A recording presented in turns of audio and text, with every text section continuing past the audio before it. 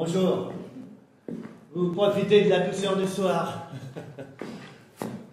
Je suis bien aise de voir qu'ici rien n'a changé depuis 20 ans que je ne suis venu. J'ai rencontré quelques soucis en chemin.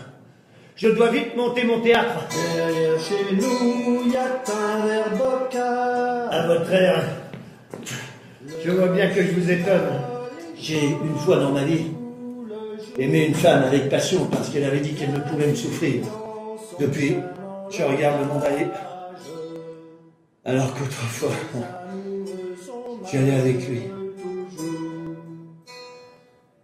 Et maintenant, vous pouvez partir. Vous êtes dans les coulisses. Êtes ou ne pas être